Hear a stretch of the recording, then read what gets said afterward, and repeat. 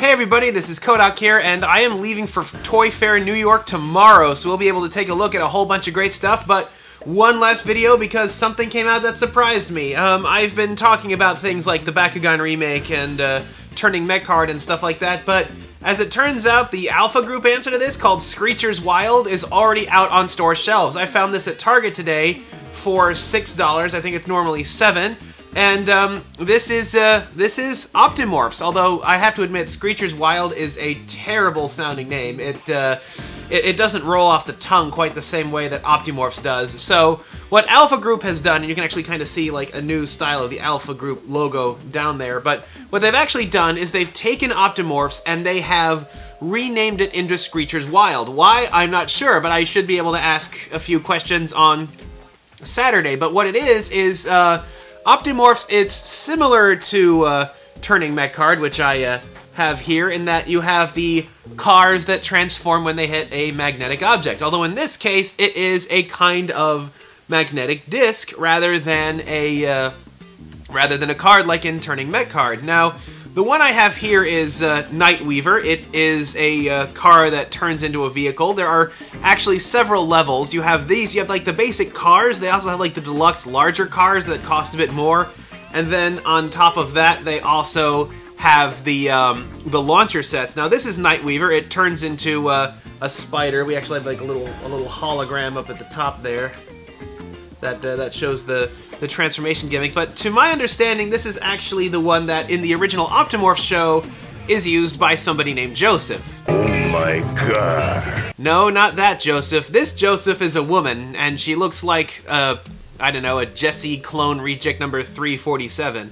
Now, um, something that's interesting about these is that uh, on the back they show how it works. And uh, in the actual, in the new Screechers Wild show, what it is, is it's actually like animals driving these vehicles that then transform into the same animal, which is kind of weird. It's like, it's like Robotech only with animals. Um, and I'm taking a look, we have the, the, the vehicle, which is kind of this thick car here that is supposed to actually do a flip in the air after it grabs the disc. So something on the level of how Phoenix here, Phoenix here actually jumps into the air when it grabs a card, this one supposedly will actually do a backflip before landing as the spider mode, and they also have some instructions here on how to take a look at Screechers Wild on YouTube. Um, the box, they, uh, they, the, the box, I am kind of surprised at how subdued the design is. One thing that the original Bakugan had going for it was that the packaging was very bright and attractive, and this is just, uh, it's a little bit dull. It has, it has the, the foil on the name here, which is a little,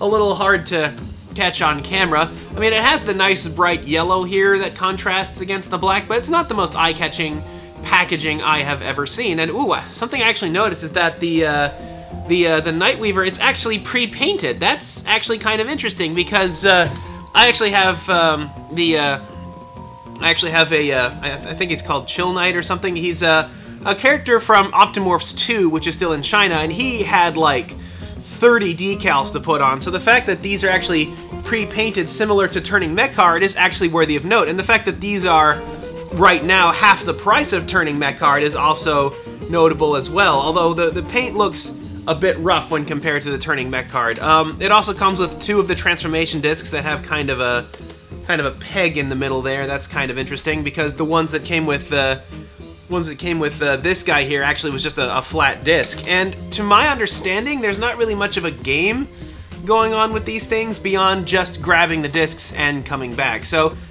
let's open this packaging, let's take a look inside.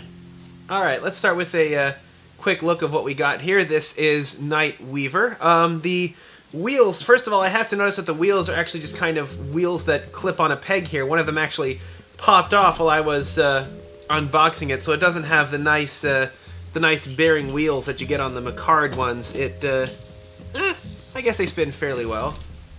Uh, maybe maybe not as quite as well as the the Mecard ones, but it's still a start. Um, we have uh, the uh, the top windshield, which is totally painted over in a silver color. We have some lightning details on the side. Now, if this were anything like the the one I got for uh, the uh, Optimorphs 2 one, we'd have to render all of this detail in decals, and you can see just how many decals are on this thing. It can get pretty crazy. So uh, we, we do have some wheels that are permanently attached here.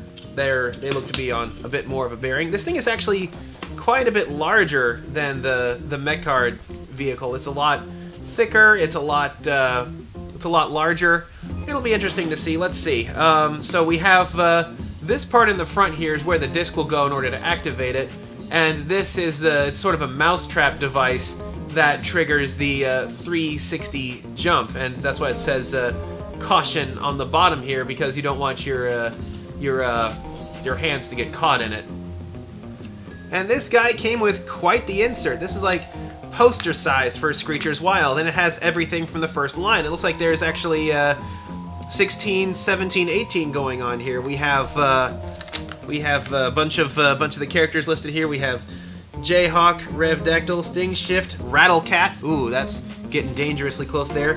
V-Rex, which, oh, that's actually kind of cool. It's a tank that, like, rears up into a dinosaur. We have Monkey Wrench, Gate Creeper, Crockshot, Night Vision, V-Bone, Pyrosaur, Smokey, Spike Star, Sparkbug, Nightbite, and Nightweaver. Hmm, I don't see, uh... I don't see, uh... I don't see Blizzard Knight on here anywhere, and I know this is, like, version 2, but I think in version 1 they had a version of this as well, and it transformed into a humanoid robot. Oh well, maybe they're trying to avoid it because they're going for the the Screecher's Wild look. And on the back, it's just the uh, the massively over huge instructions in order to retransform it back to normal. So let's take a look at how this thing transforms. And there you have it. It does indeed do a full 360 degree backflip and land when it transforms. That's actually pretty neat, and so far I haven't had it fail to do the complete flip. That's actually uh, not not uh, not badly done at all. It is awfully uh, shell formerish when compared to a lot of the things I've seen in Mecards so far. It has uh, the uh, the face is revealed by the hood splitting open. These top parts here fold into the legs, although unfortunately the legs are not individual and uh, free flowing. And the uh, hood here to the trunk just kind of uh, pops up to represent the back of it. Now, the actual flipping mechanism is this mouse trap here, which unleashes itself upon uh, opening up, and it does close all the way, so even when it's uh, fully closed, it will be uh, flush against the side here. So let's take a look. In fact, let's compare it to, to Phoenix here. So here's Phoenix from Turning Mecard, and this is uh, Nightweaver right here. Now Phoenix, you can actually see a lot of that added detail here, a lot of the stuff that's painted in on the inside, and that doesn't seem to have happened here with uh, Nightweaver. The paint seems to have been reserved for the outer portions of the body, and the actual inside doesn't have uh, any visible paint on it at all. So you can very clearly see the difference between the two, although this one, uh, it's, uh, they are admittedly different brands, but, um, Considering that this is about half the price, the performance does seem to be up to spec. I don't know how well it would do on a track or anything like that. They do have uh, special launcher sets like I showed you in the poster there. Now let's see, uh, in order to close this thing, first you start with the head, then you do the legs, then the boot, oh, dust boot, before finally uh, closing the mousetrap there. It's a bit of a shame that you can't close it into car form without uh, pouring on that uh, that heavy mousetrap because if you let the mousetrap go, then uh, it will not stay shut anymore. So it, it's a pretty powerful spring.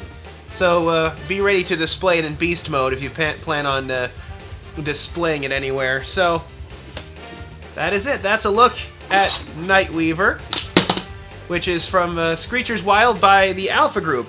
Look forward to uh, seeing more of these sorts of things at Toy Fair. I know uh, Mattel is going to be there. They're probably going to have Turning Mecard. If we're lucky, then uh, Spin Master Booth might have something as well. But until next time, this is Nightweaver by the Alpha Group, and this is Kohdok signing off.